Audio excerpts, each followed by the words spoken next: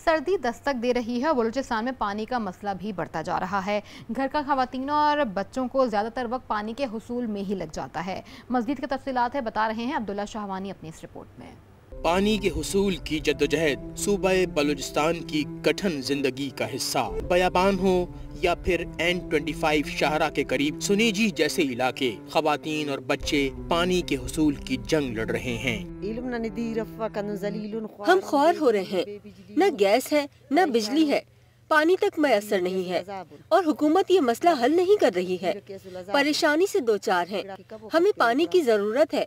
हमारा ये मसला हल किया जाए।